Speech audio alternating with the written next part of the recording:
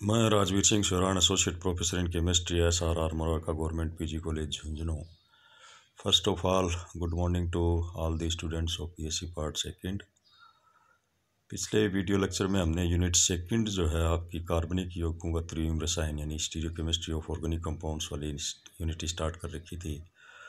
उसमें काफ़ी कुछ पोर्सन जो अपन निगलेक्ट कर लिया था इसमें। अब यानी इसमें ऑर्गेनिक कंपाउंड्स का R S nomenclature I U P S C nomenclature क्या है ई जेड नोमनक्लेचर क्या है, इसको अपने डिस्कस कर लिया था। Today we will start the conformation of या conformational isomerism of cyclo cyclohexane and its derivative यानी साइक्लो साइक्लोहेक्सेन और उसके व्युत्पन्नों में सरूपण समावेता क्या है? तो साइक्लोहेक्सेन अपन जानते हैं कि एक साइक्लिक स्ट्रक्चर होती है, जिसकी विलय में छः कार्बन परमाणु उपस्थित होते हैं, जो एस पी थ्री संकृत अवस्था में पाए जाते हैं। विलय का प्रत्येक कार्बन परमाणु दूसरे कार्बन परमाणु और दो हाइड्रोजन परमाणु से सिग्मा बंद द्वारा बंधित होते हैं। इसमें कार्बन कार्बन कार्बन और हाइड्रोजन, कार्बन कार्बन और हाइड्रोजन, कार्बन, हाइड्रोजन बंद कोण लगभग एक सौ नौ डिग्री अट्ठाईस मिनट के होते हैं।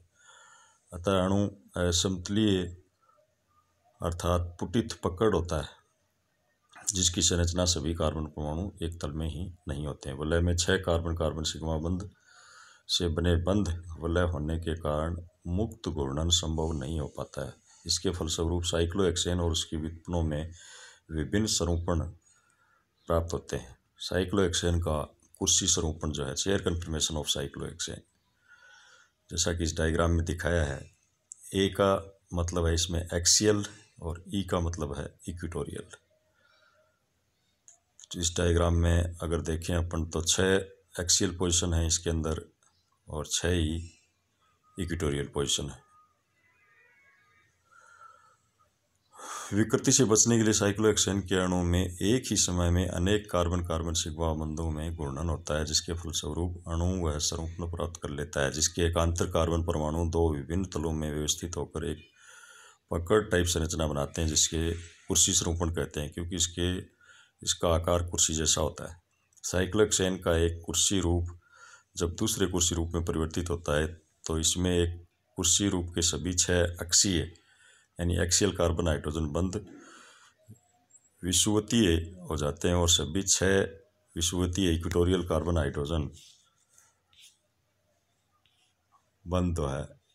वो एक्सियल पोजिशन पर आ जाते हैं। तो एक्सियल बंद क्या होता है? वे बंद जो नीचे और ऊपर की ओर संकेत करते हुए पाए जाते हैं। अर्थात अणु के अक्ष के समानांतर हों, उन्हें एक्सियल कहा जाता है। और इक्विटोरियल स्तोलीय बंद वे बंद जो पार्श्व स्थिति में उपस्थित होते हैं। और विशु विशुवत यानी इक्विटोरियल इक्विटोरियल स्थिति में दर्शाए जाते हैं इन्हें। ई के द्वारा प्रदर्शित करते हैं और एक्सियल को ए के द्वारा प्रदर्शित करते हैं। तो कुर्सी रूपों में अंतर परिवर्तन जैसे इसमें दिखाया, छियालीस किलो जूल मोल के ऊपर interconversion of, chair conformation of cyclohexane तो ये इन डायग्राम्स के अंदर या इन रिएक्शंस के अंदर दिया हुआ है। न्यू मैन प्रोजेक्शन फॉर्मूला है, उससे स्पष्ट होता है कि साइक्लोएक्सेन के कुर्सी स्वरूपण में सभी कार्बन हाइड्रोजन बंद स्टेगर्ड होते हैं। अतः अणु में कोई बंद विरोधी तनाव, यानी बॉन्ड क्लिपिंग स्ट्रेन जो है, वो नहीं होता है। न्यू प्रेक्षकण सूत्र में सी टू सी वन के पीछे सी फोर सी फाइव के पीछे पाए जाते हैं।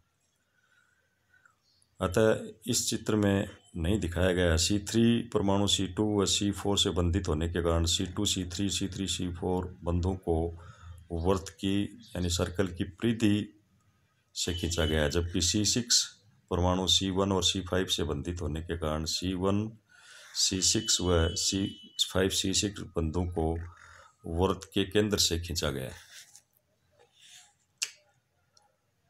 तो इसी कुर्सी रूप में किसी प्रकार की विकृति न होने के कारण यह स्ट्रेनलेस है, अर्थात कुर्सी रूप जो है एन एल्केन के समान अधिक स्थायी होता है।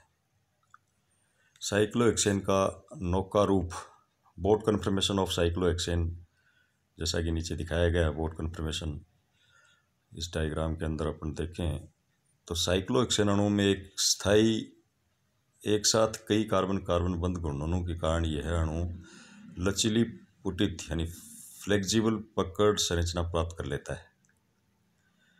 इस संरचना में असमतलीय षटकोण के दो विपरीत कोनों वाले कार्बन परमाणु शीर्ष की ओर मुड़ जाते हैं और शेष चार परमाणु, चार कार्बन परमाणु एक ही तल में व्यवस्थित होते हैं। फलतः वलय को नौका जैसी आकृति, यानी नाव जैसे होती है, उसका स्वरूपण कहा जाता है।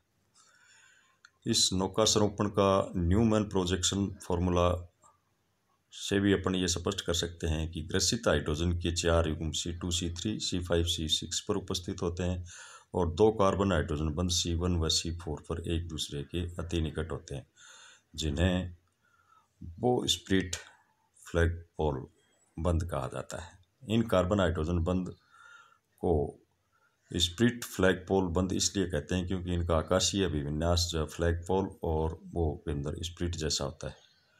इन दोनों फ्लैग पोल्स हाइड्रोजन बंद के मध्य की दूरी बहुत ही कम, यानी ज़ीरो पॉइंट अट्ठारह नैनोमीटर के आसपास होती है। जैसा कि इसमें डायग्राम में दिखाया फ्लग पोल वो स्प्रिट हाइड्रोजन और होपमैन का न्यूमैन प्रोजेक्शन फार्मूला इसी प्रकार से साइक्लोएक्सेन की ट्विस्ट फॉर्म जो है, यानी twist board conformation of cyclohexane तो ये सोहर से एक वैज्ञानिक था, उसने प्रदर्शन किया इसका। उसके अनुसार जो है, इस साइक्लो एक्सेन की मरोड़ी नौका रूप हो सकती है। तो अनेक कार्बन कार्बन बंद के एक ही समय घूर्णन के कारण साइक्लो एक्सेन की एक अन्य कम दृढ़ पुटित संरचना बनती है, जिसमें नौका के एक तरफ़ का हिस्सा सी टू सी थ्री बंद तथा दूसरी तरफ़ के सी फाइव सी सिक्स बंद पर चला जाता है। इसके परिणाम स्वरूप अणु के अंदर मरोड़ी नौका की आकृति जैसी हो जाती है। अतः इसे मरोड़ी नौका संरोपण कहा जाता है, जैसा कि इस डायग्राम में दिखाया है। नौका रूप के ग्रसित कार्बन हाइड्रोजन बंद के चारों युग मरोड़ी नौका रूप में आंशिक तौर पर ग्रसित हो जाते हैं। इसी समय फ्लैगपोल या वो स्प्लिट हाइड्रोजन परमाणु एक दूसरे से दूर हो जाते हैं। इस प्रकार मरोड़ी नौका में ग्रसित विकृति एक क्लिफ्ट स्ट्रेन आ जाती है, लेकिन यह आकृति नौका रूप से कम होती है। फ्लैगपोल बो स्प्लिट, पारस्परिक क्रिया वंडरवाल्स विकृति भी मरोड़ी नौका रूप में, नौका रूप की तुलना में कम होती है।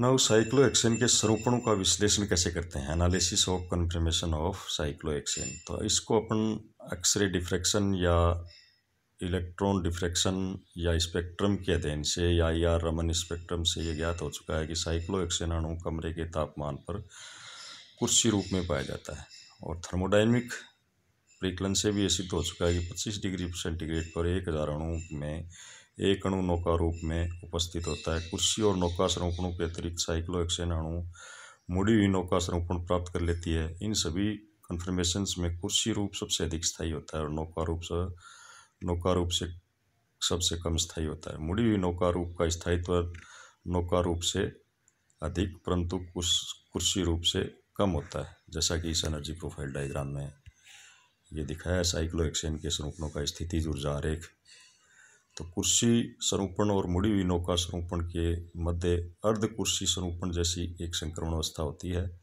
और इस अर्ध कुर्सी स्वरूपण की ऊर्जा कुर्सी रूप से छियालीस किलो जूल प्रति मोल अधिक होती है।